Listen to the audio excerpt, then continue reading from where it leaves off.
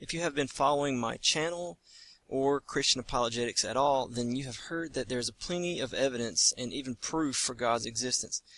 That's wonderful, and I encourage you to investigate those proofs seriously and honestly. But today I want to talk about a different problem. How does the average person know that God exists? The proofs for God's existence are great, and pretty much anyone could learn them. But most Christians probably do not know them. There are plenty of honest and sincere believers out there who perhaps have never heard of the arguments for God's existence. So how on earth do they have so much faith in something for which they have no proof? And if so many people can come to place their faith in Jesus Christ without proof, then what is the point in ever learning or sharing about the proofs? Most people have never heard of the proofs, and many of the ones who have are also non-believers. So it seems that like learning the proofs for God's existence is a waste of time. Let me tell you as honestly as I can. That idea is both wrong and unbiblical. Unbiblical. Romans chapter 1 verse 18. The wrath of God is being revealed from heaven against all the godlessness and wickedness of people who suppress the truth by their wickedness. Since what may be known about God is plain to them, because God has made it plain to them. For since the creation of the world, God's invisible qualities, His internal power and divine nature, have been clearly seen, being understood from what has been made, so that people are without excuse. When Paul says that God's eternal qualities are clearly seen in what has been made, that means the things that God has created. According to Paul, God's creation shows us the eternal power and divine nature of God. Divine nature means quality of godhood. In other words, that that is he is God. In other words, the creation clearly shows us that God really is God. And Paul's final word is translated excuse here. But literally it means that without this clear proof for who God is, then there would be an argument against God's wrath for all the godlessness and wickedness. You would have an excuse if you didn't have the proof. So if you want to say that people are justified in belief without proof, then you disagree with Paul. He says that they would be justified, that they would have an excuse without the proof. According to Paul, without proof of God's existence, you have a good argument against God's wrath for sin and godlessness. In fact, that's what the, the real word means, like a legal argument. But this doesn't answer our problem. What about all the people who believe and yet never learn the proofs for God's existence? The proofs that we have work just like Paul said they would. We have looked at the things which God created, and through logical reasoning, we can tell that God must exist. For example, the cosmological argument focuses on God's creation as a whole. It argues that the universe itself cannot exist without a creator. But most people who believe in God probably never learned the cosmological argument or any argument for the existence of God. So, are they justified in their belief and faith in God? Yes, they are. Take a look at what Paul said.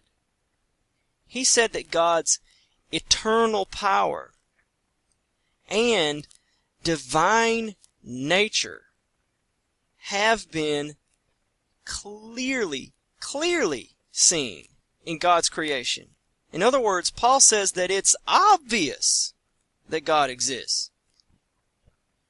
So this is a strange situation. If Paul is correct, then even if people believe without evidence, they could find some anytime they wanted. If anyone ever asked them to give evidence, then finding it would be as easy as just looking around you. Have you ever tried this? Have you ever tried to ask the average believer in God for evidence? Most believers begin to stutter and stumble as soon as they are asked to prove that God exists. Friends and buddies out there, most ministers and pastors have trouble with the question of proving God's existence. And they often answer it with things that make no sense at all. But the problem is worse now, isn't it? Doesn't this seem to prove Paul wrong?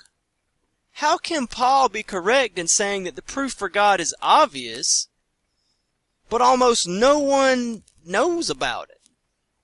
Shouldn't everyone find the question of proving God's existence really easy? Let us focus even further on what Paul really said. He said that God's eternal power and divine nature is clearly seen from what has been made. But what God made is absolutely everything.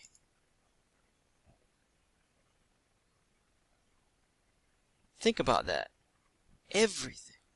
So according to Paul, it's not just a pretty sunset or the aurora borealis or, you know, the ocean which prove God exists. It's everything. Absolutely everything that you ever see or experience in any way proves who God is and what God is really like everything. Instead of asking yourself Paul, if Paul is correct, ask a different question. What if Paul is correct? Would that, what would that experience be like for humans? Well, let's think about it. It would certainly be overwhelming. It would be an information overload. TMI, God, TMI. God is a being that is beyond our comprehension. God is far greater than we can possibly understand. Yet everything He created clearly shows us His eternal power and divine nature. In other words, everything God has created shows us who God truly is. So perhaps the problem is not finding any proof that God exists. Perhaps the problem is putting it to words. How can I give you a few sentences that form an argument to explain the proof for God when absolutely everything that everyone has ever seen, not just me, but everyone, everything that everyone has ever seen or experienced is that proof for God? What words could really capture this? Would it be a poem? Would it be a story? Maybe a mathematical equation? Maybe it'll be a handful of mathematical equations. The truth is that this proof for God would explode past the limits of human communication. But Paul has told us that it's obvious, that the proof is obvious. So think about it. Humans have a knowledge of God which is obvious, but also difficult to communicate. If this is the case, then I would expect things to be exactly the way they are. Tons of people believe, and they would have a great deal of trouble explaining how they know God is real. Some of them may make an effort to explain how they already know it's true, but they would really only be able to pick out a small piece, a small piece of the larger proof. So Christian philosophers have done that over, over the centuries. They have pulled out little pieces of the larger proof, and we call these pieces the classical proofs for God's existence. But if Paul is correct, then there's actually more proofs for God's existence than we can possibly comprehend. You may wonder how the proof can be obvious, but so many people do not believe in God. Now that is an important question, and I have made a lot of videos on that. Please check out my playlist, Apologetics and Sharing Your Faith. Thank you for your time.